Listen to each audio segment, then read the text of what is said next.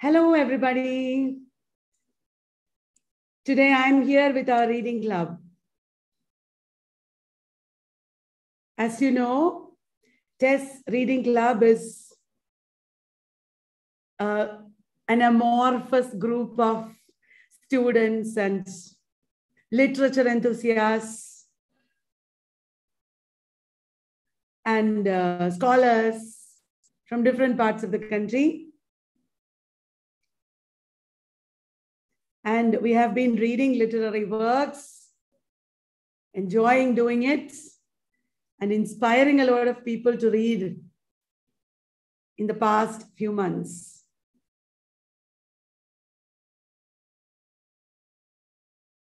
We'll just wait for a few couple of minutes so that people will join.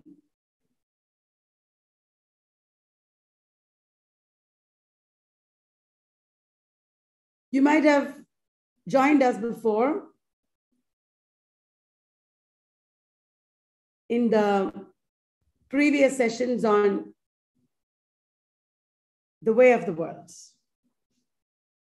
The way of the world is an amazing text. It was written in 1700 at the beginning of the 18th century just after Jeremy Collier's attack on the restoration right comedy writers. Jeremy Collier, as you know, was a Puritan who did not like the immorality that was associated with the text, sorry, the theater. And he attacked Congreve especially. Congreve replied with the way of the world. And the way of the world, incidentally, is his chastest play. So thank you all for joining us. Hello, good afternoon, Pranshu. Today we are reading The Way of the World, Act 3. Why do we do this? Every week without fail. Because reading literature is an exciting habit that we have acquired. Now, our TES Reading Club members enjoy it so much. They've developed such a passion for reading that they can't do without it. Reading literature is what each and every one of us should do. If possible, read aloud, read together, and even apply reader response, criticism, ideas on it and analyze it, your experience of reading. Probably write a paper about it. There are so many things we can do. So, today, literature, education, and all of our professional activities have become very collaborative. I think in the age of internet, in the age of online education, the most important thing is this collaborative effort. We are not doing anything by ourselves individually anymore. We are doing it in conjunction with a lot of other things, including people, other people. So, as a, an exciting educational experience, I mean, experiment, I am watching the progress of TES Reading Club we invite you to join us. You can drop a message in the chat box and otherwise uh, contact us. Tess, you can contact us. We, you will be added you can join our group if you wish. You can start your own reading clubs.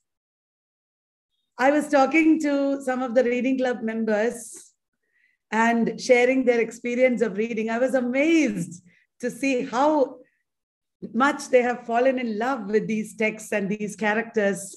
It is a very deep experience. So, today, as a special case, I invite some of our reading club members to talk to us for just one minute and share their experience of impersonating characters, reading out like this. I'm sure it'll be um, amazing and life changing for you if you do that yourself. So I invite the reading club members to come and share your experience with us and then go ahead and read Act 3 of The Way of the World by William Congreve. Thank you, ma'am. Thank you so much. Hello, everyone. This is Chitra. I'd like to tell you something. It was in first year of my graduation that I read my first novel. I clearly remember it was My Journey by APJ Abdul Kalam. Before that, I didn't know much about literature and had no first-hand experience about reading texts. Believe me, that was a turning point in my life as a student of literature. After that, my beautiful journey with literature started. Though I can't say I have read a lot, but but uh, once I read, uh, I have read whatever I have read changed me in some way or the other. The magic that you feel in the company of a text is like no other experience, believe me. From Shakespeare to J.K. Rowling, from Milton to Kamala Das, each of them have uh, something to give you that none other has. And this is the reason I invite you to delve in the, into the beautiful world of literature with me. For me, it was my college professor who initiated me into this beautiful world of literature. Now we all have Kalyani ma'am to journey with. And through TES Reading Club, the opportunity we have got is, is like no other opportunity.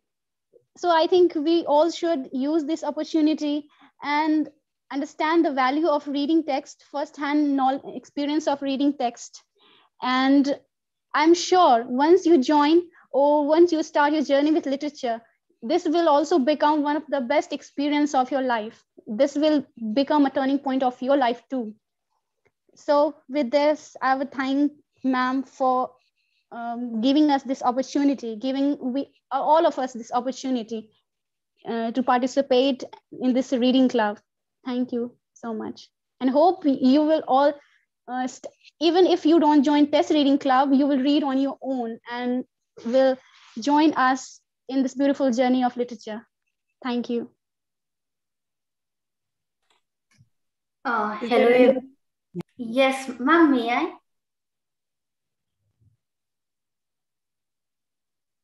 Please speak. Hello everyone. Firstly do i want to share that i am not a good speaker I have never been a good speaker. Most of the times I'm nervous, not confident about my pronunciations, clarity in my voice, expressions. I think that it is something that we all go through and it's a lifelong battle. But these reading sessions, the group that I have joined is really helpful. As on regular basis, we read and we read aloud with people. We make mistakes, we learn from mistakes, and then we again try to improve ourselves. And this is something really beautiful because the reading sessions, the reading group help us to improve, help allow us to make mistakes. And we don't feel ashamed that we usually we do. And this is something that is making me to overcome my fear and this habit of reading has made me more confident. I have started enjoying and living the reading sessions. And the first book, the novel that I have read was God of Small Things. And it was really challenging because I was in standard 12. And most of the things I couldn't understand. But when I read today, I do understand things. And reading literature is more like reliving the lives of other people, the experience of other people, it makes us a better person. And reading with people who are so positive about life makes you more positive and it will help us to grow together. It is helping me. So that's all. I just want you all to read. Read as much as you all can. This reading is really good. Everyone should read. So yes, that's all. Good afternoon, friends. My name is Bhavna, and uh, I will want to share my experience of TES Reading Club, Reading with TES Reading Club with you all. My experience has been phenomenal. I would like to share that I'm a mother, and as a mother, I have always wanted my son to be a reader. Right now, he's very young, but as a mother, I have understood one thing that if you want your child to inculcate a certain good habit, you will have to practice it first. Reading is something very important. I've always understood this. I have been a reader in past years when I was a student. Well, I am a student uh, now also, but in last few years, I've somehow uh, not have developed on this habit of reading. But with TES Reading Club, I did get this platform of reading again, and I'm enjoying it. The atmosphere here is just amazing. You will get to learn a lot from your fellow readers.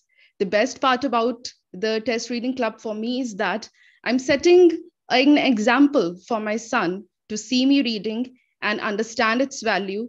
And uh, hopefully, he will also inculcate this habit. And for our listeners, I am hoping that some of you will definitely join us so that we can have a variety over here. We can also learn from you. So hoping to see you in, see you in future. Thank you very much.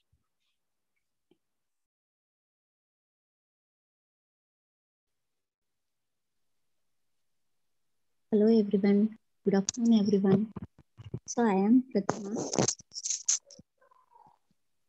So after joining this TES reading club, I have improved a lot in my reading session. I am glad to express my expressions and my uh,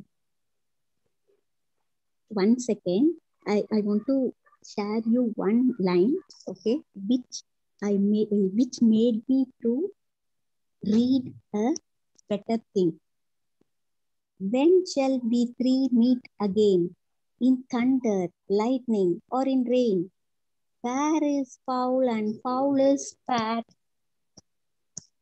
Hover through the fog and filthy air. This is a famous dialogue which witches, three witches used to sing in Macbeth. This is the first dialogue in my reading session in this TES reading club. So I used to make lot of mistakes while pronouncing or while speaking. Since after facing all the difficulties, this is a place where I enjoyed my reading with the silly mistakes and I have to correct it myself. Often I used to do many mistakes while I am reading, but in this platform, because of our ma'am and our friends who made me to motivate my reading to improve my reading in a better and better every day.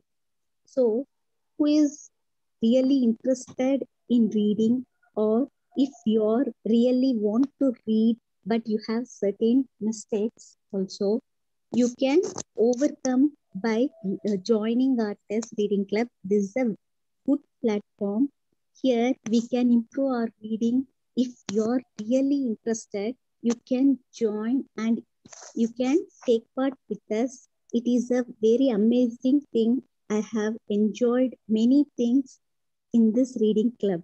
And one more thing I have to tell for you people that even though if you're not well known towards many plays, novels, or short stories, dramas, poetry, prose, everything, we can't read each and everything. If we are reading through this reading club, we can know all the major and minor characters which we are not coming through our reading but uh, through our uh, UG and PG, whatever it may be. We are not coming across each and every topics, each and every prose novels. So in this place, we can know many novels, many authors, intro for many minor characters also.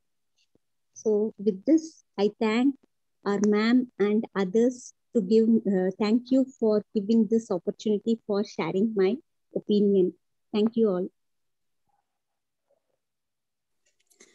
Hello, myself Anjali Vagmare came here to share my experience about this amazing reading club.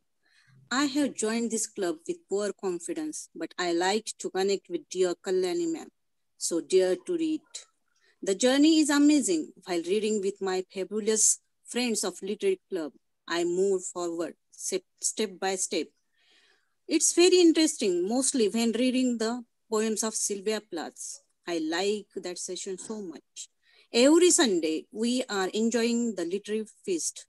Hope this reading club became a milestone in literary uh, field and will be very hopeful and useful for the students as well. Thank you so much, dear Kalyani ma'am, for always being with us.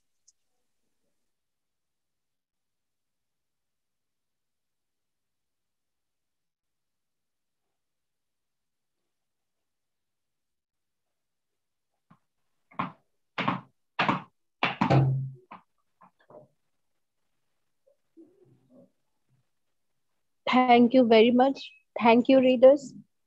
So today, with the blessing of our respected ma'am and with the presence of the enthusiastic readers, we are going, we are here to read out Act 3 of The Way of the World by William Congreve. Though not only the longest act, but also it summarizes the concept of the whole restoration comedy in it the witty and courtly rake, and the dull-witted man of business, the country bumpkin who is understood to be not only unsophisticated, but often either Puritan or another form of dissenter. Thus, it emphasizes the importance of literature as a backbone of our society. The way of the world's creation of the older restoration comedies pattern is the only one of the things that made the play unusual. And the most enjoyable part of this act is the song of scene 12. Yes, because it acts as an allusion to the play's presentation of love. Just as the song describes the thrill of competition in the hunt for a beautiful swan, the characters do enjoy the competition to win Millamant's hand, though more out of greed than love. So, without wasting a second, I hand over to our narrator to proceed.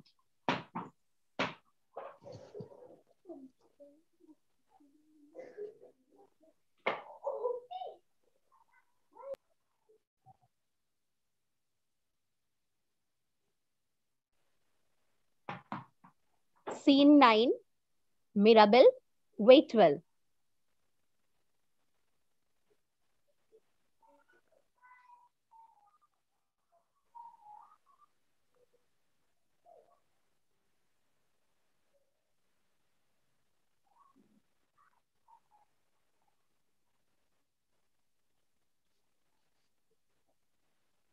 Sorry. Act 3, Scene 1, a room in Lady Wishfort's house.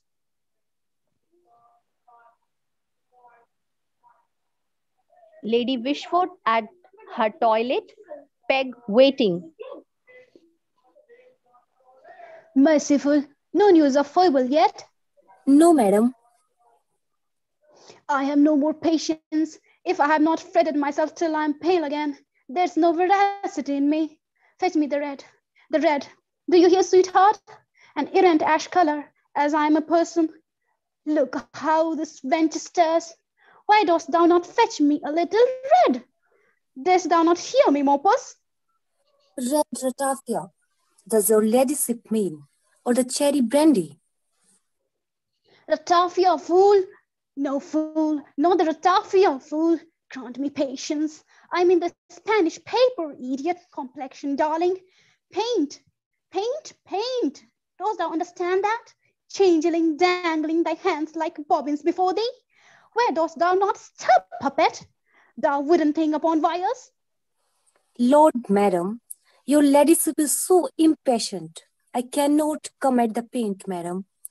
Mrs. Foible has locked it up and carried the key with her. A pox take you both. Fetch me the cherry brandy then. Scene Lady Wishfort. I'm as pale and as faint. I look like Mrs. Qualmsick, the curate's wife that's always breeding. Wench, come, come, wench, what art thou doing? Shipping, tasting, save thee. Dost thou not know the bottle? Scene 3 Lady Wishfort, Peg with a bottle and a china cup. Madam, I was looking for a cup. A cup? Save thee, and what a cup hast thou brought? Dost thou not dost thou take me for a fairy to drink out of an akron? Why dost thou not bring thy timber? Hast thou near a brass thimble clinking in thy pocket with a bit of nutmeg? I warrant thee. Come, fill, fill. So again, see who is that? One knocks. Set down the bottle. First, here, here, under the table. What? Wouldst thou go with the bottle in thy hand like a tapster? As I'm a person, this wench has lived in an inn upon the road before she came to me like Maritornes, the Asturian in Don Quixote. No foible yet? No, madam. Mrs. Marwood. Oh, Marwood, let her come in. Come in, good Marwood. Scene 4 Mrs. Marwood. I'm surprised to find your ladyship in dishabille at this time of day. Foibles, the lost thing, has been abroad since morning and never heard of since. I saw her, but now, as I came, marks through the park, in conference with Mirabell. With Mirabell? You call my blood into my face with mentioning that traitor. She does not have the confidence.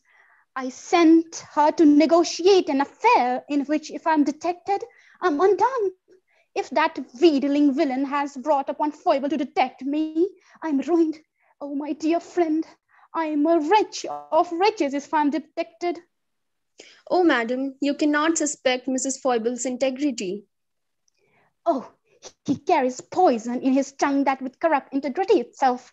If she has given him an opportunity, she has good as put her integrity into his hands.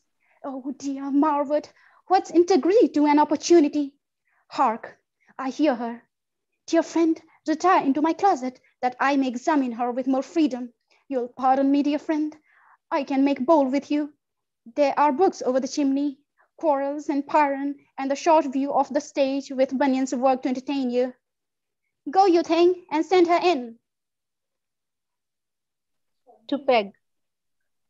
Scene 5 Lady Wishfort, Foible.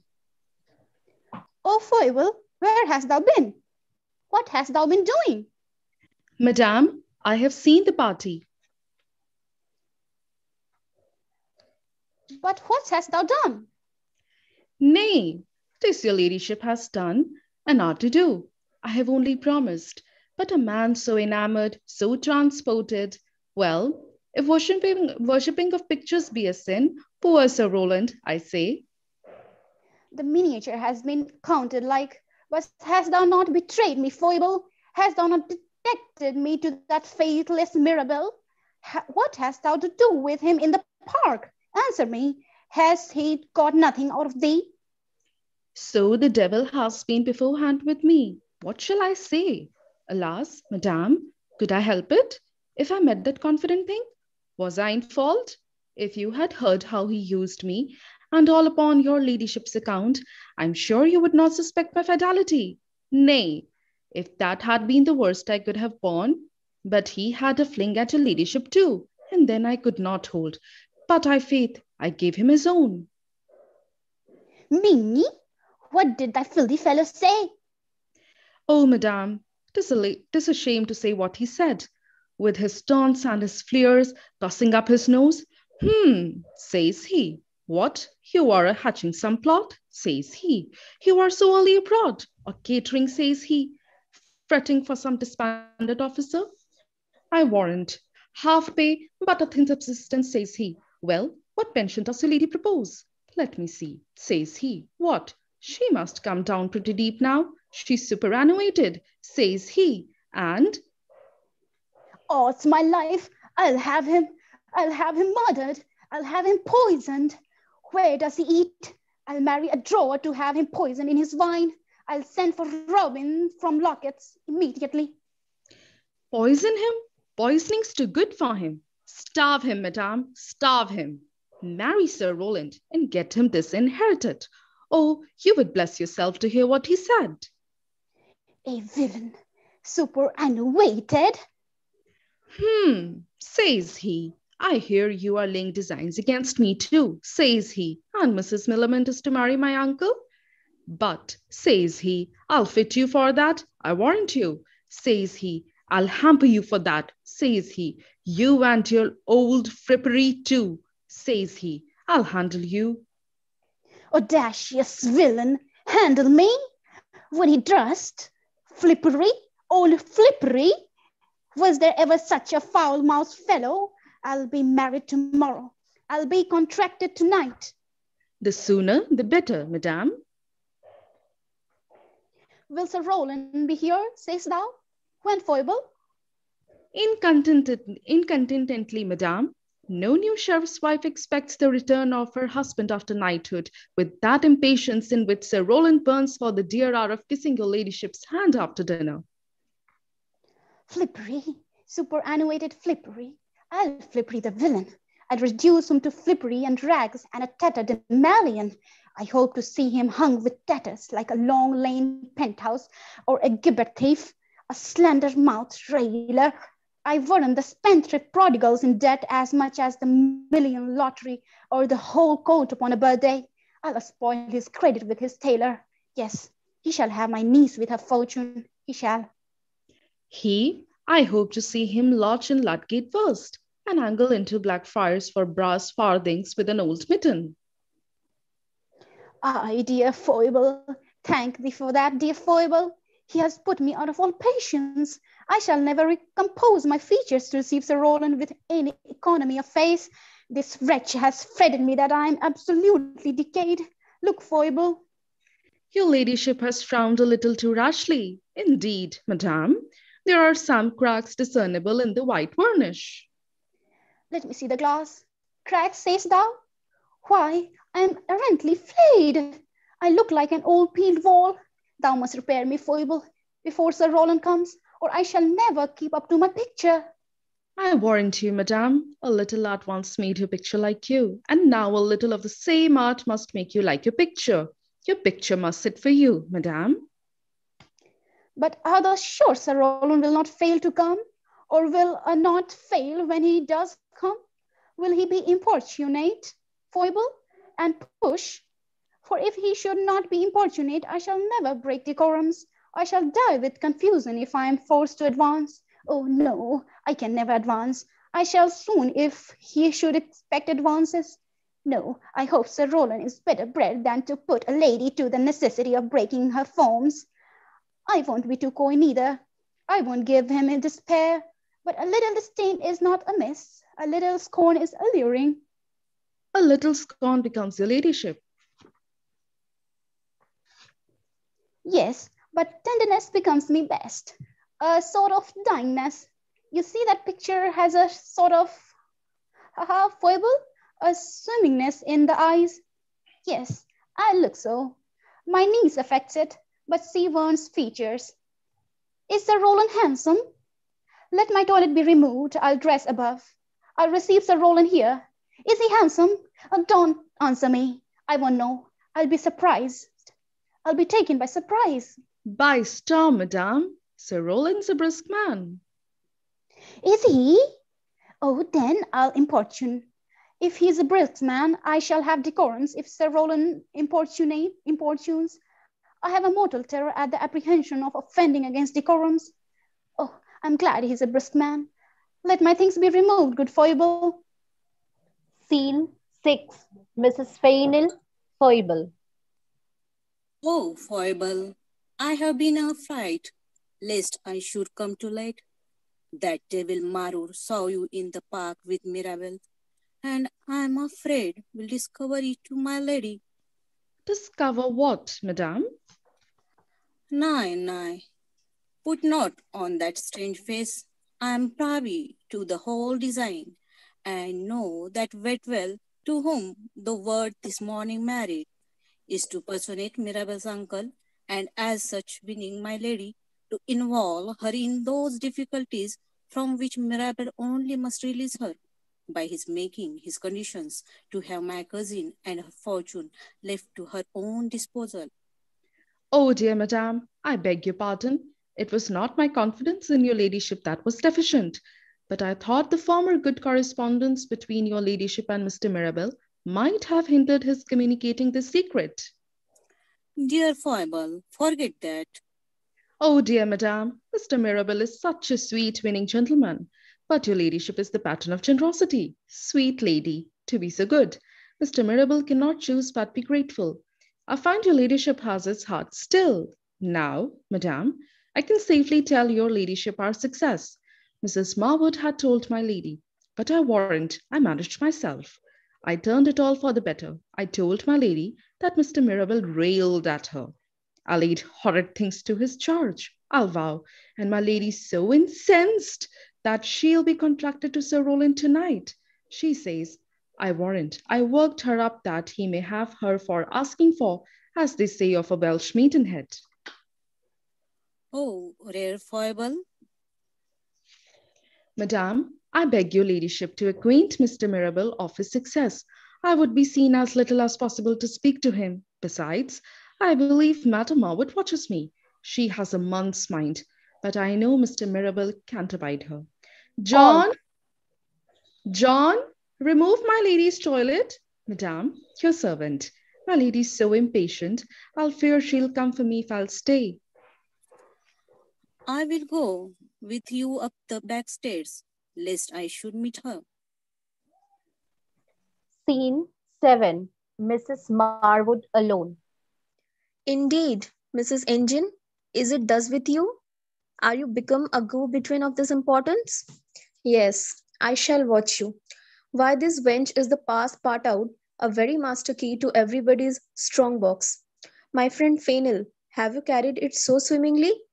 I thought there was something in it, but it seems it's over with you. Your loathing is not from a want of appetite then, but from a surfeit. Else, you could never be so cool to fall from a principal to be an assistant, to procure for him a pattern of generosity.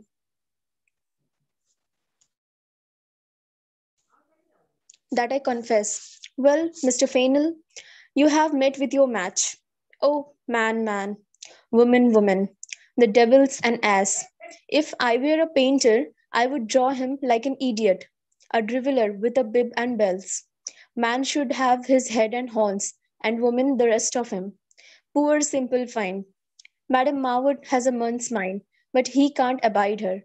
It were better for him you had not been his confessor in that affair. Without, you could have kept his counsel closer. I shall not prove another pattern of generosity. He has not obliged me to that with those excesses of himself. And now I'll have none of him. Here comes the good lady, panting ripe, with a heart full of hope and a head full of care, like any chymist upon the day of projection. Scene 8 To her, Lady Wishfort. Oh, dear Marwood, what shall I say for this rude forgetfulness? But my dear friend is all goodness. No apologies, dear madam. I have been very well entertained. As I am a person, I am in very curious to think I should forget myself. But I have such an olio of affairs. Really, I know not what to do. Calls. Foible? I expect my nephew Sir Wilful every moment too. Why, Foible? He means to travel for improvement.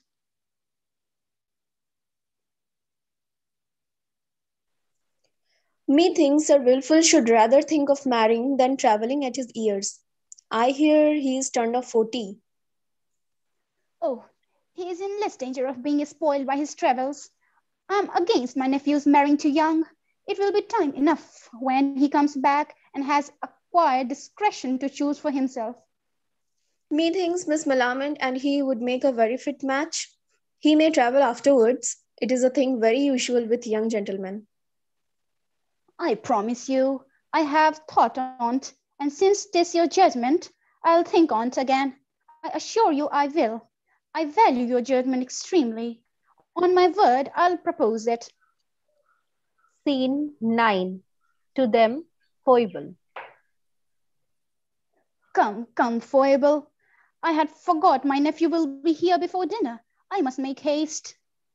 Mr. Witwoud and Mr. Petulant are come to dine with your ladyship. Oh dear, I can't appear till I'm dressed. Dear Marwood, shall be free shall I be free with you again? And I beg to entertain them. I'll make all imaginable haste. Dear friend, excuse me. Scene 10.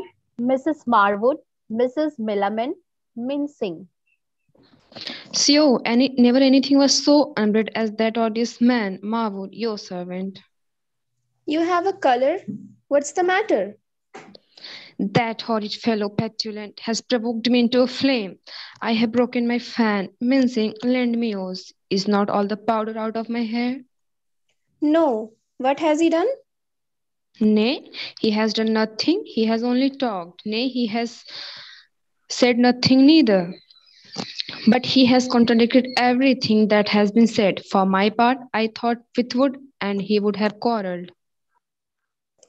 I vow, ma'am, I thought once they would have fit. Well, it's a lamentable thing, I swear, that one has not the liberty of choosing one's acquaintance as one does one's clothes. If we had that liberty, we should be as weary of one set of acquaintance, though never so good, as we are of one suit, though never so fine. A fool and a doily stuff would now and then find days of grace and be worn for variety. I could consent to wear them if they would wear alike, but fools never wear out. They are such drab-the-berry things. Without one could give them to one's chambermaid after a day or two. It were better so indeed. Or what you think you of the playhouse? A fine, gay, glossy fool should be given there, like a new masking habit after the masquerade is over, and we have done with the disguise. For a fool's visit is always a disguise, and never admitted by a woman of wit, but to blind her affair with a lover of sense. If you would but appear barefaced now and own Mirabell, you might as easily put off Petulant and Witwoud as your hood and scarf.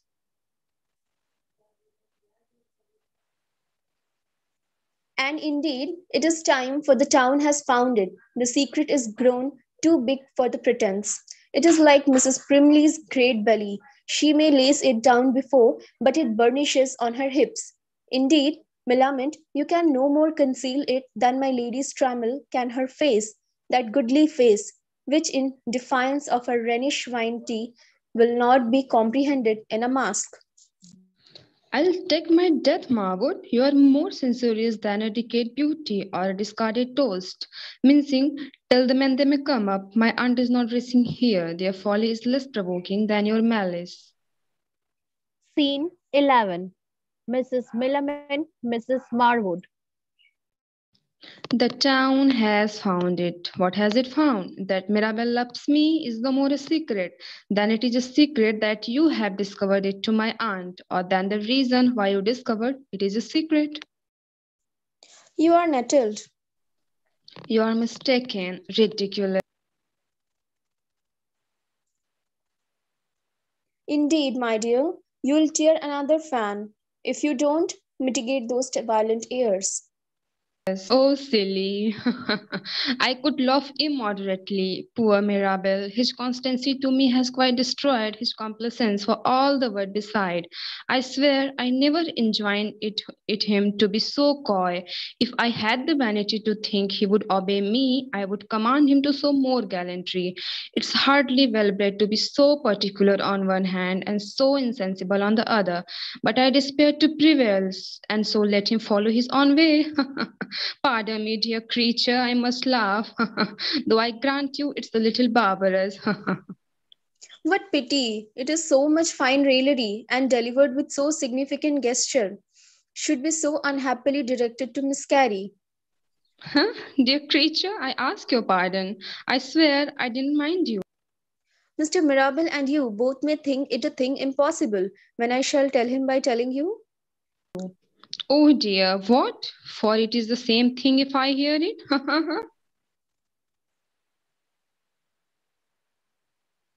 that I detest him, hate him, madam. Oh, madam, why so do I? And yet the creature loves me. How can one forbear laughing to think of it? I am a sibyl if I am not amazed to think what he can see in me. I'll take my death. I think you are handsomer, and within a year or two as young. If I could, if I could but stay for me, I should overtake you, but that cannot be. Well, that that that thought makes me melancholic. Now I'll be sad. Your married note may be changed sooner than you think. Do you say so? Then I am resolved. I'll have a song to keep up my spirit. Scene 12. To them, men sing. The gentlemen stay but to come, madam, and will wait on you.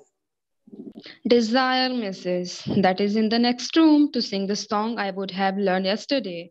You shall hear it, madam. Not that there's any grand any great matter in it, but it's agreeable to to my humor.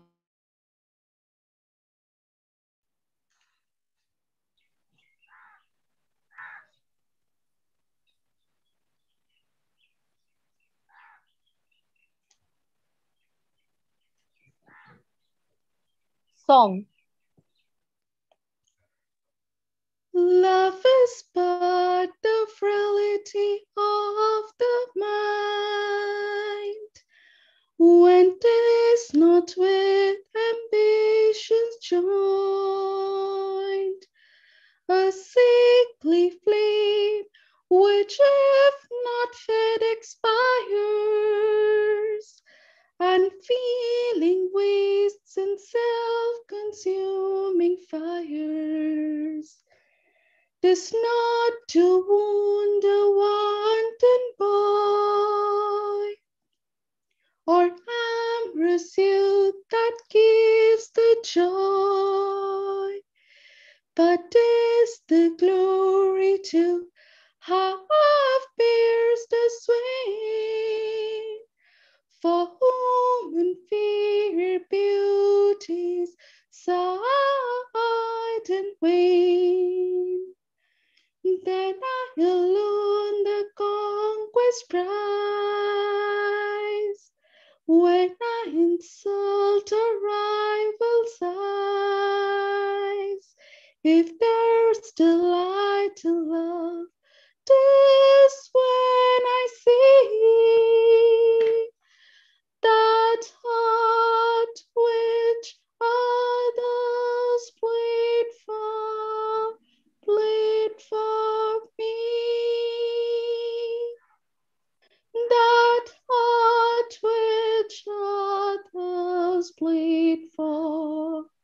plead for me.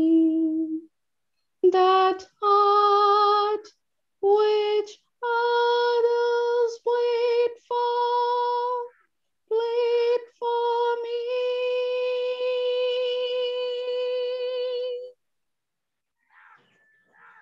Scene 13. To them, petulant Witwoud. Is your animosity composed, gentlemen? Raillery, raillery, madam. We have no animosity.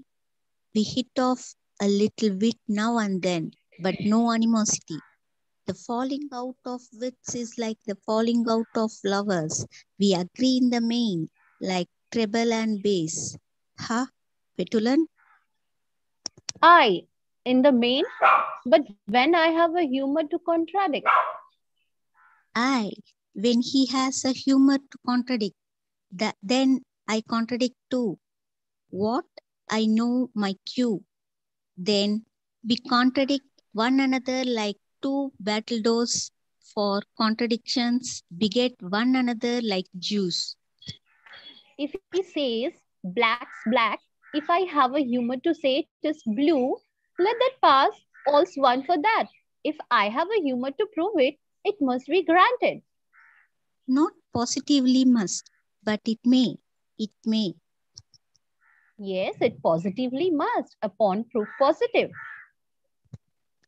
Aye, upon proof positive it must, but upon proof pre- presumptive it only may. That's a logical distinction now, madam.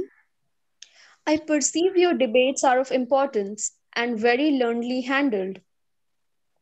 Importance is one thing and learning's another. But a debate's a debate. That I assert. Petulant's, an enemy to learning. He relies altogether on his parts. No, I am no enemy to learning. It hurts, not me. That's a sign, indeed. It's no enemy to you. No, no, it's no enemy to anybody, but them that have it. Well, an illiterate man's my aversion. I wonder at the impudence of any illiterate man to offer to make love. That I confess, I wonder at too. Ah, to marry an ignorant that can hardly read or write? Why should a man be any further from being married, though he can't read, than he is from being hanged? The ordinary spade for setting the psalm, and the parish priest for reading the ceremony, and for the rest which is to follow, in both cases, a man may do it without book. So, all's one for that. Do you hear the creature? Lord, here's company. I'll be gone. Scene 14. Sir Wilful Witwoud in a ri- riding dress. Mrs. Marwood, petulant Witwoud, footman.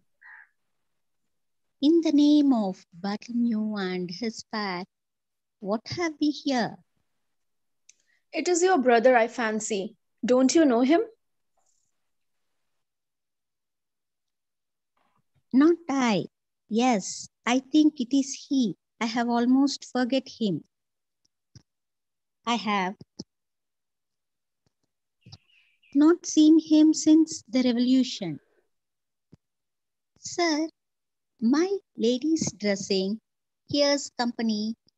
If you please to walk in in the meantime. Dressing? What? It, it's but morning here. I warrant with you in London. We should count it towards afternoon in our parts down in Shropshire. Why didn't we like my aunt hadn't dined yet, her friend? Your aunt, sir? My aunt, sir? Yes, my aunt, sir. And your lady, sir. Your lady is my aunt, sir. Why? What dost thou not know me, friend? Why? Then send somebody hither that does. How long hast thou lived with thy lady fellow, huh? A week, sir. Longer than anybody in the house, except my lady's woman. Why then, bela- belike thou dost not know thy lady, if thou seest her, her friend? Why? Truly, sir, I cannot safely swear to her face. In a in the morning, before she is dressed, it is like I may give a shrewd guess at her by this time. Well, pretty. Try what thou canst do. If thou canst not guess, inquire her out, dost dear fellow, and tell her her nephew Sir Wilful Witwoud is in the house. I shall, sir. Hold you, hear me, friend, a word with you in your ear. Pretty, who are these gallants? Really, sir? I can't tell. Here comes here come so many here. It is hard to know them all. Scene 15. Sir Wilful Witwoud, petulant Witwoud, Mrs. Marwood. Moons. This fellow knows less than a starling. I don't think a knows his own name.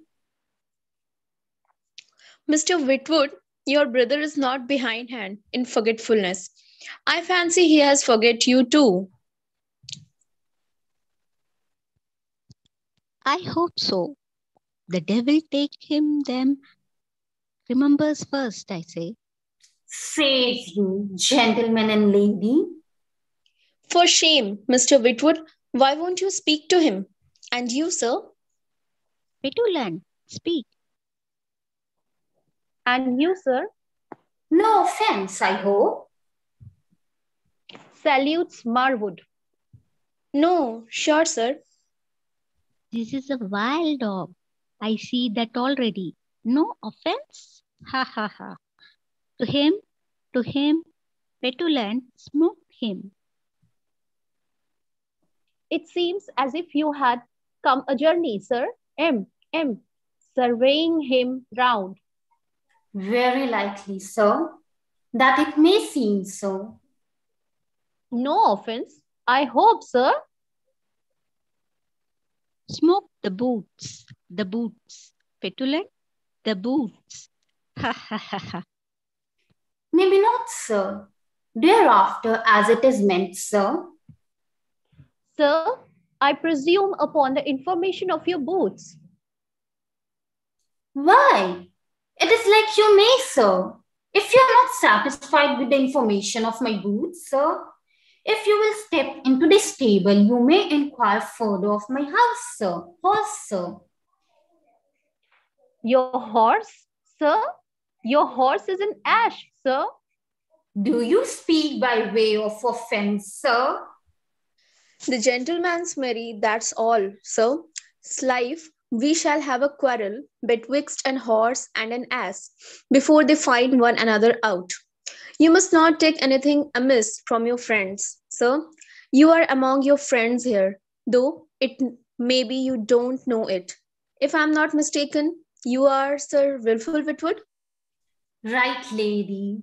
I'm Sir Wilful Witwoud, so I write myself. No offense to anybody, I hope. And nephew to the Lady Wishfort of this mansion. Don't you know this gentleman, sir? Hmm. What? Sure, it's no. Yeah, by a lady, but it is. Sure. I know not whether it is or no. Yeah, but it is. By the Red King. Brother Anthony. What? Tony? I faith. What thou what dost thou not know me? By a lady, nor I thee. Thou art so beprivated and so beprivate. Pshaw! Why dost not speak? Art thou overjoyed? Art so, brother? Is it you? Your servant, brother. Your servant? Why? Your sir? Your servant again? Shah And your friend and servant to that? And a and a flat dragon for your service, sir, and a hair's food and a hair's cut for your service, sir, and you by so cold and so courtly. No offense, I hope, brother. Shut, sir, but there is, and much offense. A pox, is this your ends, or code breeding?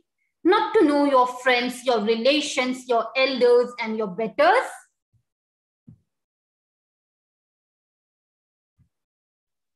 Why, brother, willful of sallow?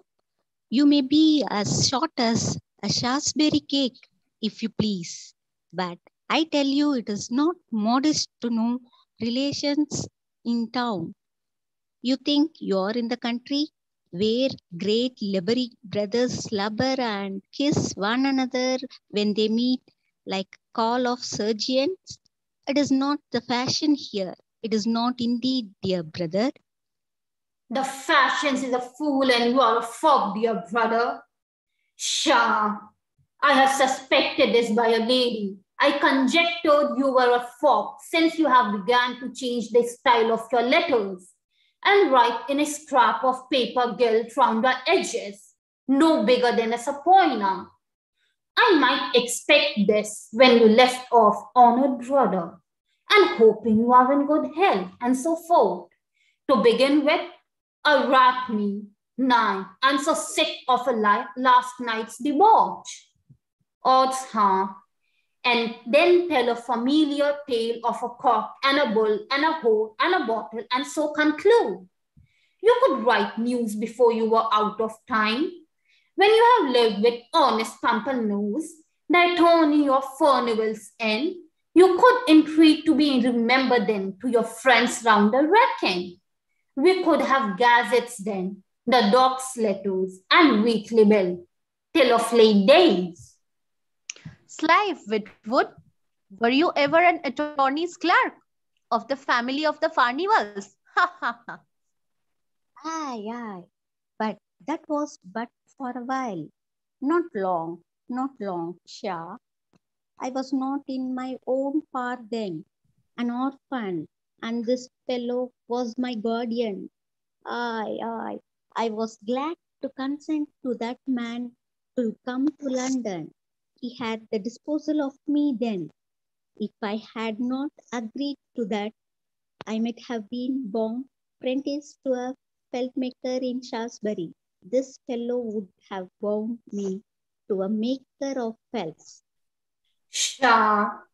And better than to bound to a maker of forks, where I suppose you have served your time. And now you may set for yourself. You intend to travel, sir? As I'm informed? Belike I may, madam. I may chance to sail upon the salt seas, if my mind hold.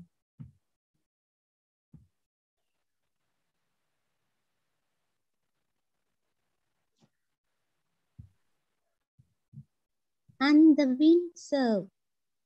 Sir or not sir, I shan't ask license of you, sir, nor the weathercock your companion. I direct my discourse to the lady, sir. It is like my aunt may have told you, madame.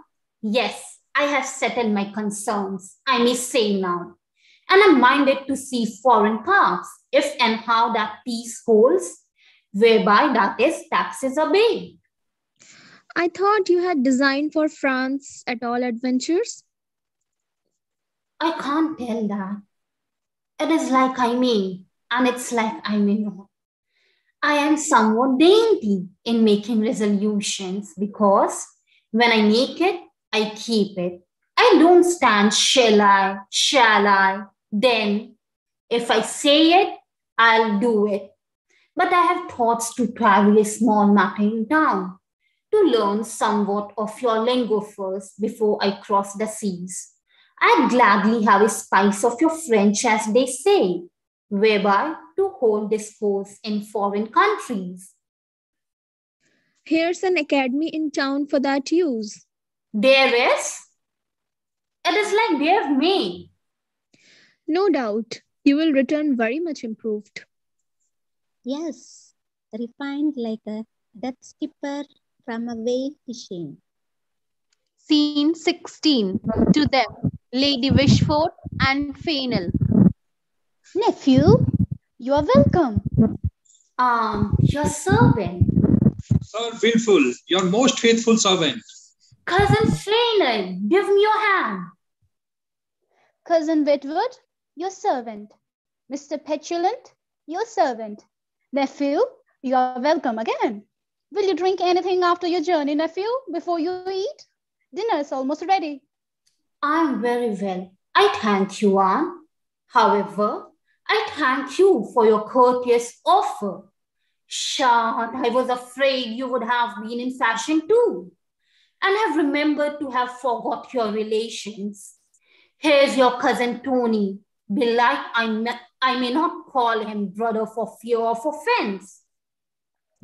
Oh, he's a railer, nephew.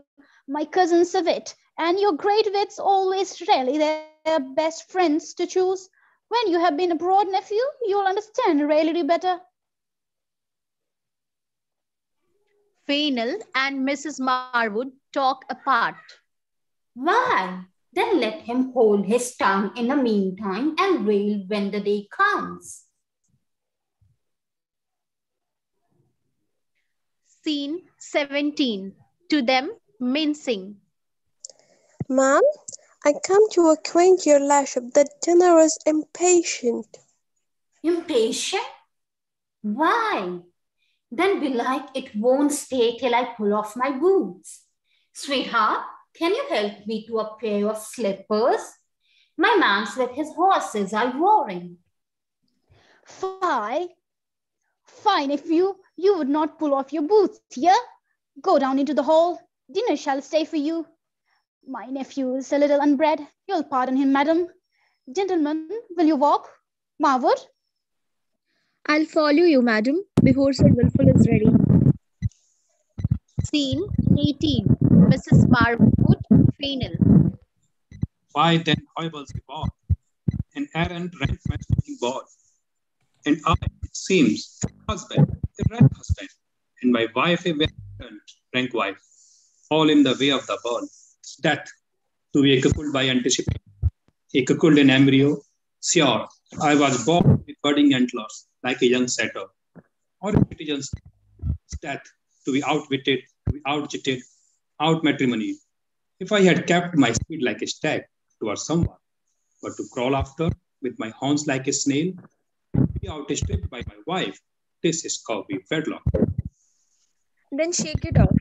You have often wished for an opportunity to part, and now you have it. But first, prevent their plot. The half of Millamant's fortune is too considerable to be parted to a foe, to Mirabell. Damn him, that had been mine.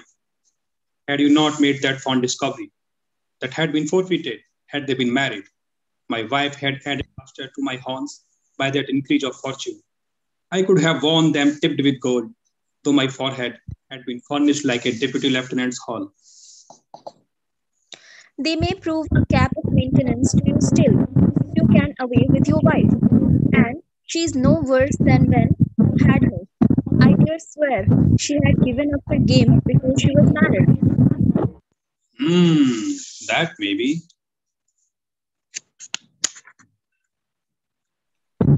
You married her to keep you, and if you can contrive to have keep her, you better than you expected. Why should you not keep her longer than you intended? The means, the means. Discover to my lady your wife's conduct, threaten to part with her. My lady loves her, and will come to any composition to save her reputation. Take the opportunity of breaking it just after the discovery of this imposture. My lady will be enraged beyond bounds and sacrifice and fortune and all at that conjuncture. And let me alone to keep her warm. If she should flag in her part, I will not fail to prompt her. Hey, this is an appearance. I'm sorry, I hinted to my lady to endeavor a match between Millamant and Sir Wilful. That may be an obstacle. Oh, for that matter, allow me to manage him. I will disable him for that. He will drink like a Dane. After dinner, I will set his hand in. Well, how do you stand affected towards your lady? Why, Faith, I'm thinking of it. Let me see. I'm married already, so that's over. My wife has played the jade with me. Well, that's over too.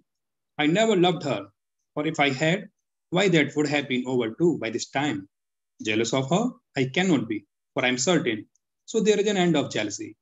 Weary of her I am and shall be. No, there is no end of that. No, no, that were too much to hope. Thus for concerning my reports. Now for my reputation. As to my own, I married, not for it. So that's out of the question. And as to my part in my wife's, why, she had parted with hers before. So bringing none to me, she can take none from me. Tis against all rule of play that I should lose to one who has not wherewithal to stay. Besides, you forget, marriage is honorable. Hmm, faith. And that's well thought on. Marriage is honorable, as you say. And if so, wherefore should cuckoldom be a discredit, being derived from so honorable a root? Nay, I know not. If the root be honorable, why not the branches? So, so, why this point is clear? Well, how do we proceed? I will contrive a letter which shall be delivered to my lady at the time when that rascal who is to act Sir Rowland is with her. It shall come as from an unknown hand, for unless I appear to know of the truth, the better I can play the incendiary. Besides, I would not have Foible provoked if I could help it, because, you know, she's some passages. A, I expect all will come out, but let the mind be sprung first, and then I care not if I am discovered. If the worst come to the worst, I'll turn my wife to grass. I have already a deed of settlement of the best part of the estate, which I wheeled out of her, and that you shall partake at least. I hope you are convinced that I hate Mirabell now. You'll be no more jealous? Jealous? Not by this kiss. Let husbands be jealous, but let the lover still believe. Or if he doubt, let it be the only to endear his pleasures, and prepare the joy that follows when he proves his mistress true. But let husbands doubt converts to endless jealousy, or if they have belief, let it corrupt to superstition and blind credulity. I am single and will herd no more with them. True, I wear the badge, but I will disown the order. And since I take my leave of them, I care not. If I leave them, a common motto to their common crest. All husbands must, or pain or shame endure. The wise to jealous are, fools to secure. Thank you. Thank you very much, all the readers and the listeners. We hope we have tried to present ourselves in our best tone, but pardon our mistakes and do enjoy reading with us. Thank you very much.